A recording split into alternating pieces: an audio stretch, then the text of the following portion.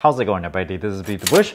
Today we're going to talk about maximum power point tracking for solar panels and why it matters to you. Many power banks actually does not have maximum power point tracking. The more expensive one has this.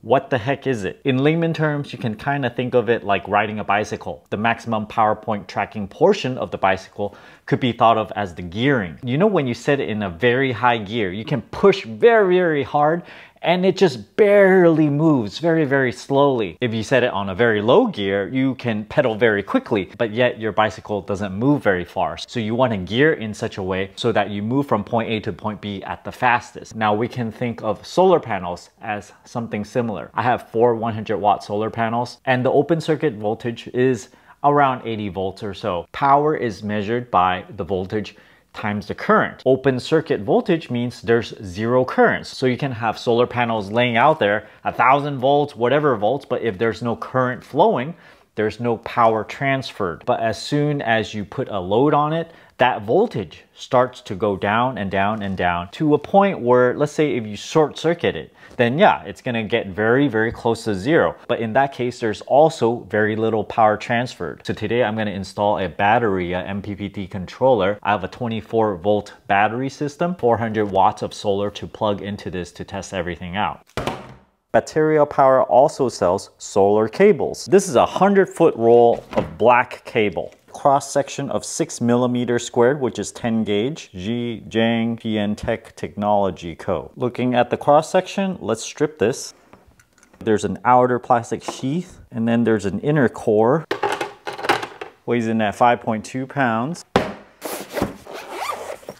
Six pairs of crimps, MC4 connectors, and it even comes with a tool to open these up tighten them. The crimping tool, tinned copper. So let me just scratch a little bit. It looks copper underneath. And if you look at the cross section area, it is copper as well. I'm gonna divide this in half, so two 50 foot sections. So I got it rolled out somewhat large. 31, 24 and a half. 31 plus 24 and a half divided by 2. This is the average diameter. Diameter times pi is circumference times 13 circles of these. And then we got to add 56 inches divided by 12. So we got 99 feet. Am I missing a foot somewhere? It's probably just from my calculation. This is not exactly circular, but it's close enough. I'm just going to grab a pair of them. We find the midpoint here. So I get 50 feet exactly right there.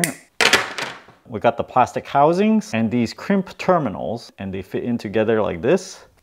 The male side actually uses the larger diameter connector and this one goes on the male side. It only goes that far in. That means these wires I can actually go in a little bit further. This is a six millimeter square crimp so we're using the biggest one. Thread it through.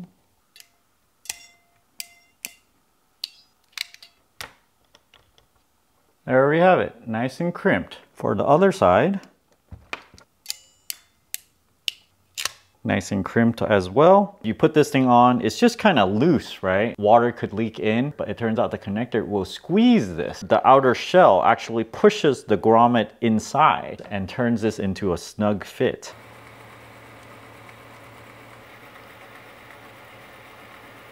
Put in the sleeve, putting the self-tightening grommet. This hole here is for this connector here, so you can slip it right in and hold it into place. This one has a bunch of different holes with different styles of grip. That's really for these ridges along this nut here. And so I can put that in, turn it. Cool, so now we made our own solar MC4 cable. 50 foot right here. Second pair, yes, they will connect.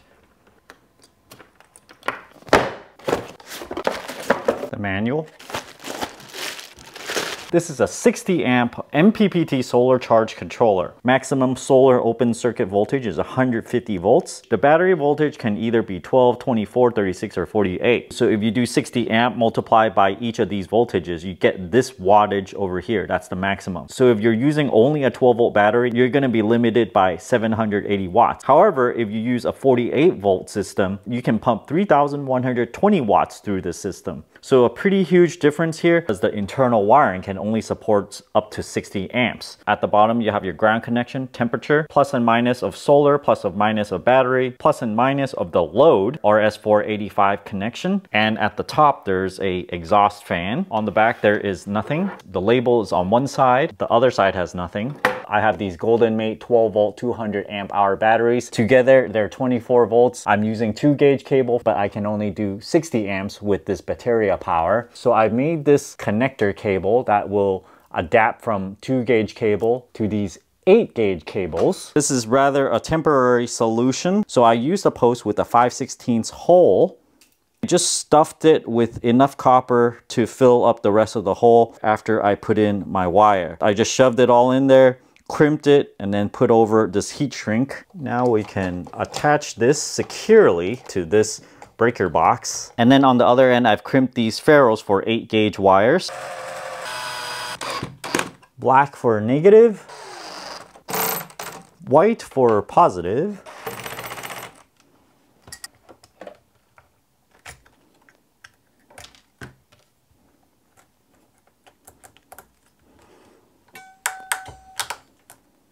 new cables. Solar panel negative, solar panel positive, final tightening, 25.69. So the black is negative, battery minus over there, good. This is solar, negative, good.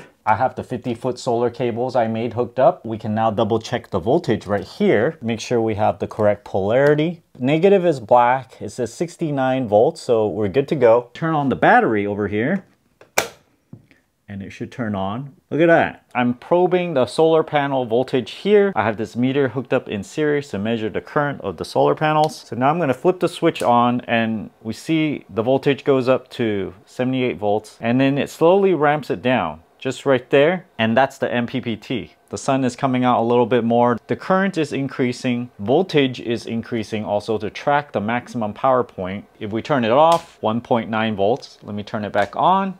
It starts off at 24 milliamps, jumps to 1 amp. Oh, it's staying there around for a while. 67 volts, 1.17 amps, 64 volts, 63 volts. It's not trying to maximize the current by itself, nor the voltage by itself, but the product of these two. Right now it's about noon and I got full sun on the solar. If I turn it back on,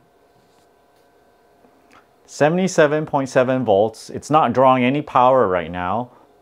Very little amperage. And the voltage here keeps on dropping a little bit. 54 volts, 55, 56, 57, 58. So it's not pulling as hard. 50, 60, and then it pulled it back down. See, 58, 57, kind of searching for the maximum wattage. Every time you see the voltage change, it's doing slight adjustments. If we look at the AC change, right there we can see it adjust the load every one tenth of a second almost. Right when you turn on this controller, it stays around 80 volts for about six seconds or so. It's just starting up before it starts its MPPT action. Right when it does it, you can see the voltage drops lower and lower. After about one second or so, it drops to the intended voltage or very close to it. The voltage goes down a little bit further and it tries to hunt for the perfect voltage for maximum power transfer. You might ask, how much does this matter? It might vary between 10 to 45% more efficiency depending on the weather, but no matter what, with an MPPT controller, it's always going to be more efficient than one without. While we're talking about the most efficiencies out of solar panels, you might also think about, hey, what about solar tracking? You can have these solar panels that just kind of moves along with the sun. So this should certainly give it a lot more solar, right? It's in the ballpark of giving you about 20 to 25% more. But every time I see, you know those solar things that looks like a flower petal, right? I look at that and I'm like, well, there's so many motors in that, so many points of failure. That's why most installations you see, it's just a fixed solar thing. It, it, it, doesn't move because there's less moving parts and an MPPT controller is actually electronic so there's no moving parts and it actually would last much longer. Motors, right? Those break. You're gonna have to go out there change the motors, go lubricate the motors. Sometimes they might offer you as a DIY person to have a solar tracker for like four panels. I would try to shy away from that and spend the money on an MPPT capable solar charge controller over this motorized stuff. Thanks for watching this video. I hope this was educational. If you guys are interested in getting a Bateria MPPT solar charge controller, check out my Amazon affiliate link down in the video description below. Thanks for watching this video. Until next time.